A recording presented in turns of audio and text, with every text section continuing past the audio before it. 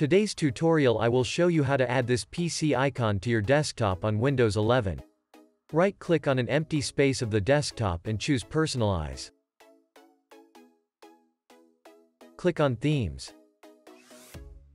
Now click on Desktop Icon Settings. Choose the icons you would like to have on your desktop, then select Apply and OK.